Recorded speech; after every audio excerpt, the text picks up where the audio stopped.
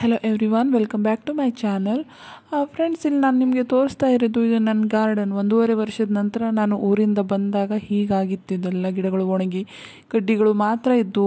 ನೀವು ಮೊದಲೆಲ್ಲ ನನ್ನ ವಿಡಿಯೋದಲ್ಲಿ ನೋಡಿದ್ರಿ ನನ್ನ ಗಾರ್ಡನ್ ಹೇಗಿತ್ತು, ಎಷ್ಟೆಲ್ಲ ಹೂವಿನ ಗಿಡಗಳಿದ್ದು, ಎಷ್ಟು ಚೆನ್ನಾಗಿತ್ತು ಅಂತ.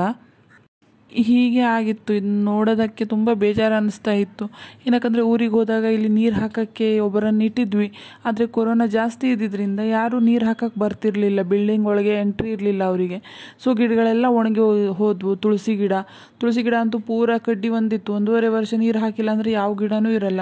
ಆದರೆ ದೊಡ್ಡ ಪತ್ರೆ ಗಿಡ ಮಾತ್ರ ಹಾಗೇ ಇತ್ತು. ಏನೂ ಆಗಿರಲಿಲ್ಲ.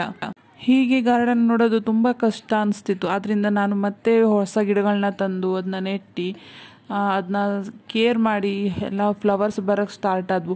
ಅದನ್ನ ಕೂಡ ನಿಮಗೆ ನಾನು ಇದೇ ವಿಡಿಯೋದಲ್ಲಿ ತೋರಿಸ್ತೀನಿ, ಎಷ್ಟು ಚೆನ್ನಾಗಿ ಮತ್ತೆ ವಾಪಸ್ ನಾನು ಗಾರ್ಡನ್ ರೆಡಿ ಮಾಡಿದ್ದೀನಿ ಅಂತ. ತುಂಬ ಗಿಡಗಳೇನು ಹಾಕಿಲ್ಲ, ಇನ್ನು ತರೋದಿದೆ. ಟೈಮ್ ಆದಾಗ ತರ್ತೀನಿ ಅದನ್ನು ಕೂಡ ನಿಮಗೆ ತೋರಿಸ್ತೀನಿ. ಇವಾಗ ನೋಡಿ, ಇಷ್ಟೆಲ್ಲ ಗಿಡಗಳನ್ನ ತಂದಿದ್ದೀನಿ. ಇವೆಲ್ಲ ರೋಸ್ ಗಿಡಗಳು, ಒಂದು ಐದಾರು ಟೈಪಿನ ರೋಸ್ ಗಿಡನ ತಂದಿದ್ದೀನಿ. Yellow colour white colour pink almost ಎಲ್ಲ ಕಲರ್ನೂ ತಂದಿದ್ದೀನಿ.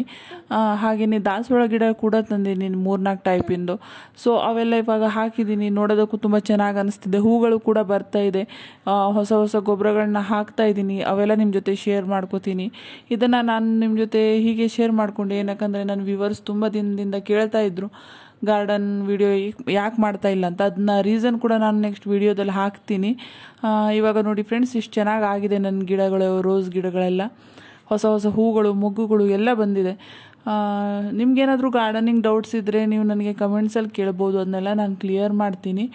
ಇನ್ನು ಮುಂದೆ ಕಂಪ್ಲೀಟಾಗಿ ವಿಡಿಯೋನ ಹಾಕ್ತಿರ್ತೀನಿ ಕಂಟಿನ್ಯೂಸ್ ಆಗಿ.